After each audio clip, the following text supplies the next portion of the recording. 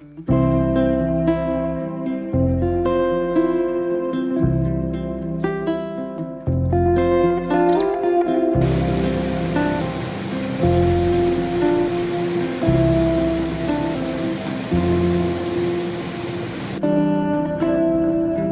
guys, selamat datang di channel Densa Vision.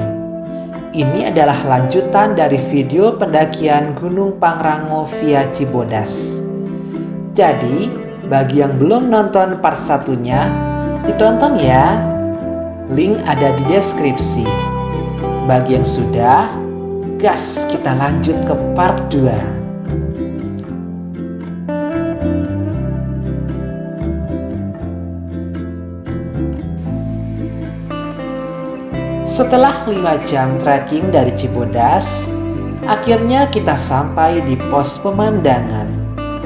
Ini adalah pintu masuk sebelum melewati jalur air terjun panas. Di sini ada warung dan toilet. Uniknya, air di toilet ini berasap tapi tidak panas.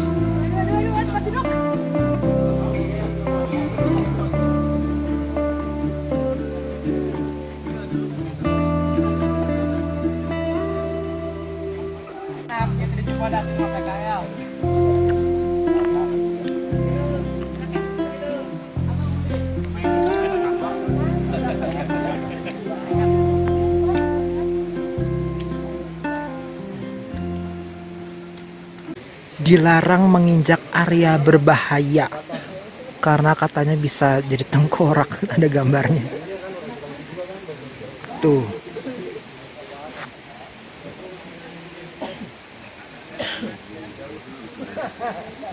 Ya jadi ini tuh pohon yang bisa menyebabkan keracunan bahkan bisa meninggal guys lupa saya namanya apa tapi ada di coba cari di di Google. Daunnya kayak gini nih guys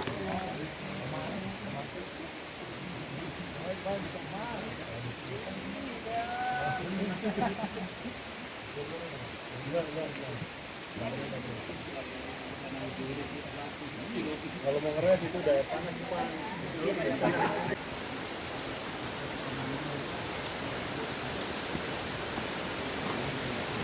teman-teman sekarang jam 10 kita sudah tiba di pintu masuk menuju ke air terjun panas. Di sini ada informasi untuk pendaki. Di sini juga ada interpretasi kawasan jalur pendakian Gunung Gede Pangrango jadi kalau kalian dengar suara-suara gemericik air itu di sebelah sana itu air terjun panas itu salah satu ciri khas di jalur pendakian Gunung Gede Pangrango via Cibodas itu ada air terjun panas. Dan kita akan melewati itu. Jadi jalur pendakiannya itu akan melewati air panas itu teman-teman. Mungkin di situ eh, saya nggak akan banyak merekam. Soalnya katanya licin. Yuk lanjut yuk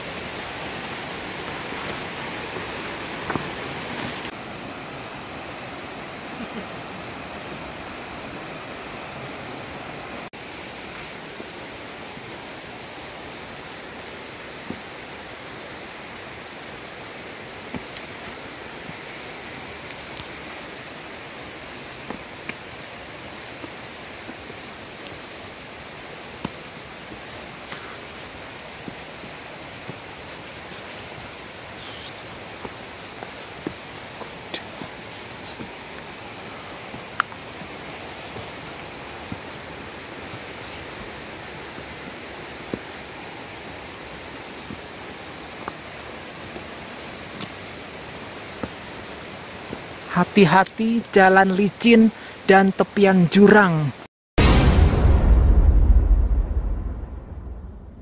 Kawasan blok air panas. Ketinggian 2200 mdpl. Nih. Sudah mulai air panas, guys. dan di sini ngantri guys macet pulang? Iya. dari mana pak? Dari kandang badak. oh kandang badak.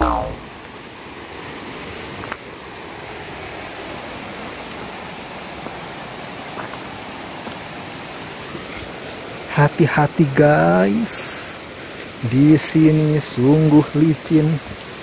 Astaga. Ya ampun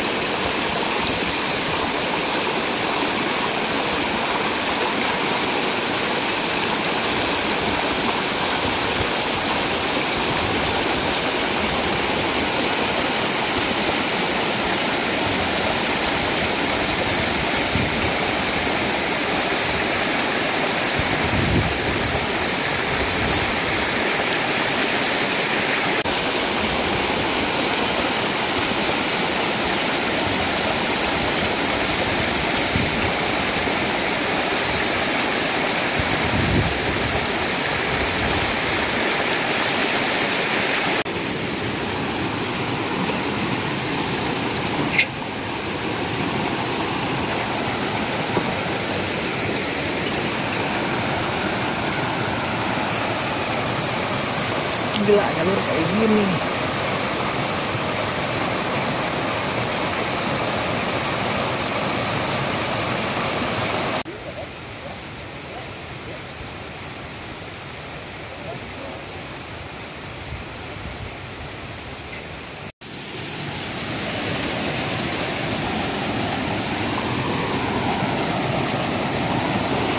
Ini air panas juga guys ini. Air panas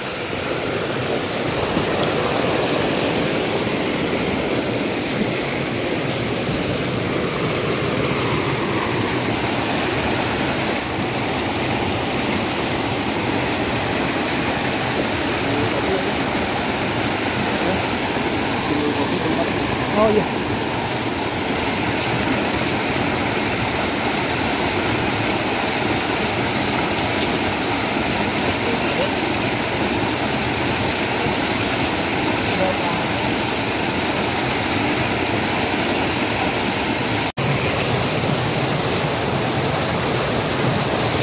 Sedang menikmati air terjun panas. Kalau yang di sini bisa berendam kaki atau bisa juga mandi kalau nggak malu. Eh, tadi ngelewatin jalur pendakian yang ada air terjun panasnya cukup ngeri ya. Itu batu-batunya licin dan airnya lagi deras. Airnya yang di sana lebih panas kayak air mendidih. Harus hati-hati kalau ke sana.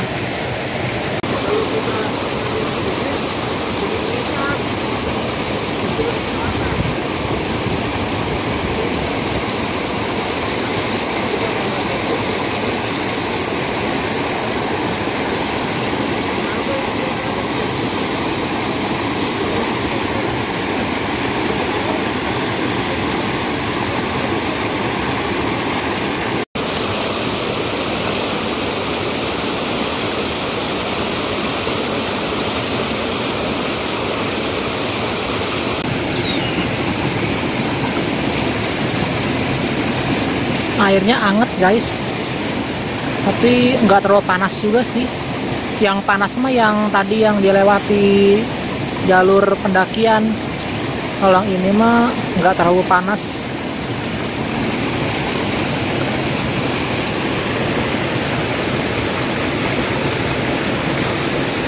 Setelah istirahat setengah jam sampai buka kompor segala, kita lanjutkan perjalanan. Sungainya warna kuning, guys. Ini karena kecampur belerang air panas ini, guys.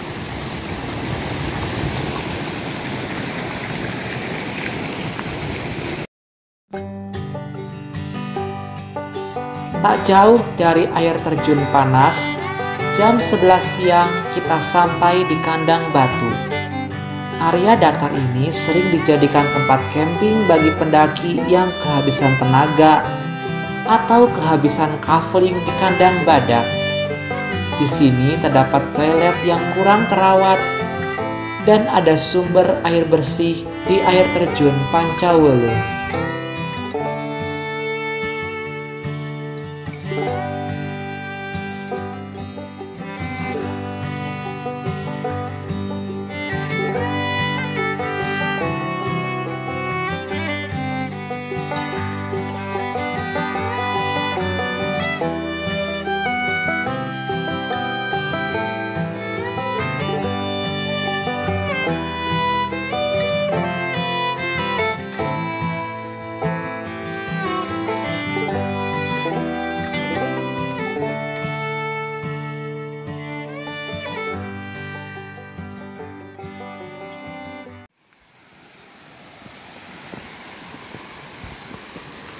Nah, teman-teman, ini kita akan menuju air terjun Pancaweleh namanya.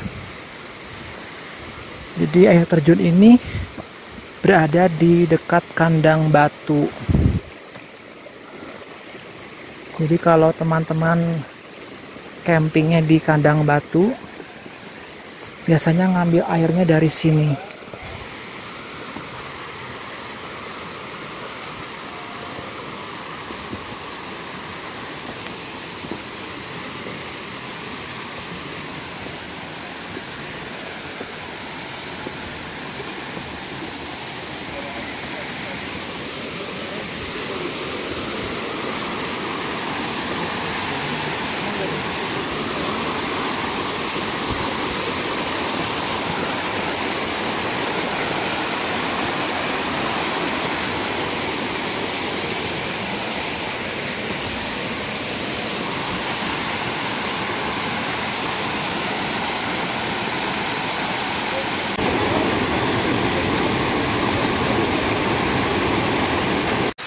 Guys sekarang saya sedang berada di air terjun Pancaweleh namanya. Jadi air terjun ini mengalir dari atas dan ini airnya eh, bening guys. Jadi eh, bisa buat sumber air bersih kalau kalian eh, campingnya di kandang batu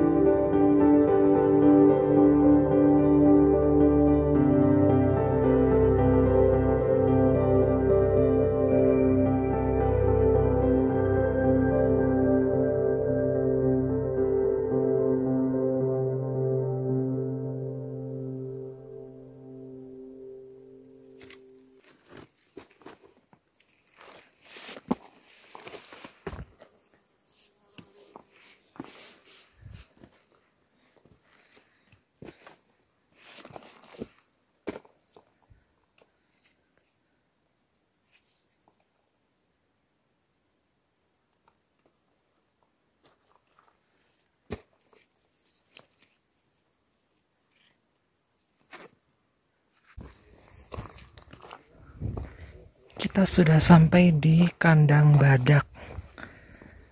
Kandang badak ini adalah uh, camping site dan juga percabangan jalur antara ke Gunung Gede dan ke Gunung Pangrango. Di sini ada warung, guys.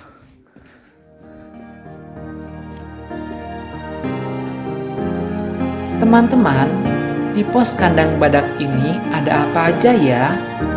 Terus, ada kejadian tak terduga apa yang saya alami waktu summit ke puncak Pangrango?